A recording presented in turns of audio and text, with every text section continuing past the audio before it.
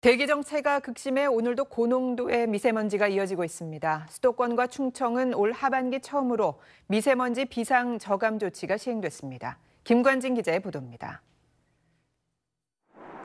뿌연 먼지들이 서울 도심을 완전히 뒤덮었습니다. 뿌여갖고 처음에는 안개인 줄 알았어요. 그랬더니 안 거치는 거 보니까 이게 미세먼지 같아요. 붉게 물든 단풍도 먼지에 가려져 잿빛으로 변했습니다. 애기한테 남산타워에서 서울 구경 좀 시켜주려고 했는데 지금 못 올라가고 아, 올라가도 너무 안 보이니까 하나도 안 보이니까 중국 등 국외 미세먼지가 유입되고 대기 정체로 국내 발생 오염 물질도 쌓이고 있기 때문입니다.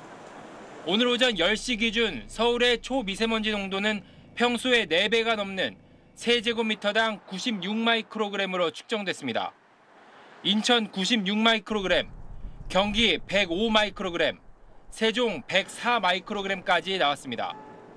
수도권과 충청 지역이 초미세먼지 매우 나쁨을, 이 밖의 지역 대부분도 나쁨 수준을 유지하고 있습니다. 수도권과 충청엔 올 하반기에 처음으로 미세먼지 비상 저감 조치가 시행됐습니다. 이에 따라 사업장과 공사장의 운영 시간이 단축되고 노후 건설 기계 사용이 제한됩니다. 다만 휴일이기 때문에 배출가스 5등급 차량 운행 제한과 자치구 및 공공기관 주차장 전면 폐쇄는 실시하지 않는다고 밝혔습니다. 이번 미세먼지는 오늘 밤부터 비가 내리고 북서풍이 불면서 해소될 전망입니다. SBS 김관진입니다.